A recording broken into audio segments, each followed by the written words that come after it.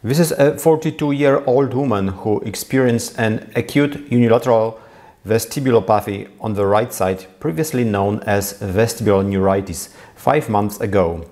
This examination uses the VHIT test to assess her condition five months after the incident.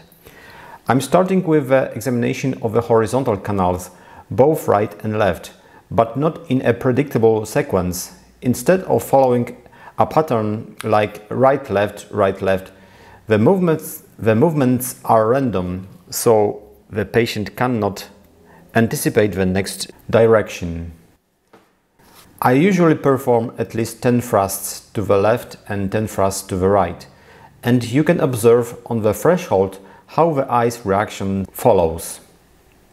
You can clearly see that the green line represents the movement of the head while the red line represents the movement of the eye.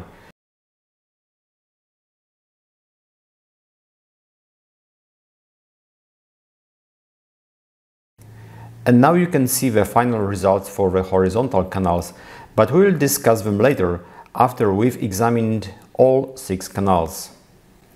Now I'm moving on to the examination of the left anterior and right posterior canals, known as LARP.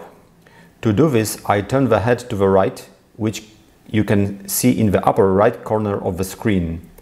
Now I perform a thrust downward, which excites the left anterior semicircular canal, and then I move the head upward, which excites the right posterior semicircular canal.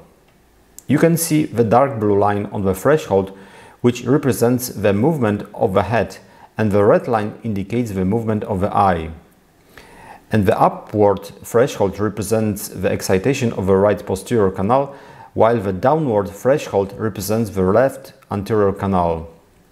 I move the head downward and upward in the LARP plane randomly, just like with the horizontal canal, so the movements aren't in a predictable sequence.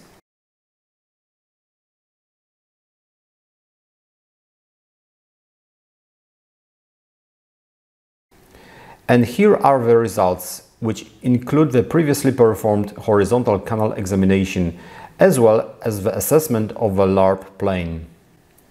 Now I'm moving on to examining the RALP plane, which involves the right anterior and left posterior canals. For this, I've turned the head to the left, which you can see in the upper right corner of the screen where the direction marker is displayed. Now I move the head downward to excite the right anterior canal and then I move the head upward to excite the left posterior canal. You can see the dark blue line on the threshold which represents the movement of the head and the red line indicates the movement of the eye. And the upper threshold represents the excitation of the left posterior canal while the downward threshold represents the right anterior canal.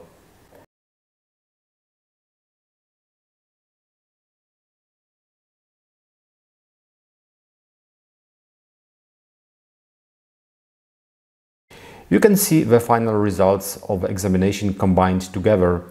On the left side, you can see the responses from the right semicircular canals and on the right side, the responses from the left canals. You can also notice an abnormal response from the right horizontal canal, which is indicated by the second threshold and presents the worst result as you can see many covert saccades here as well as overt saccades here. And finally, the velocity gain is below the normal range.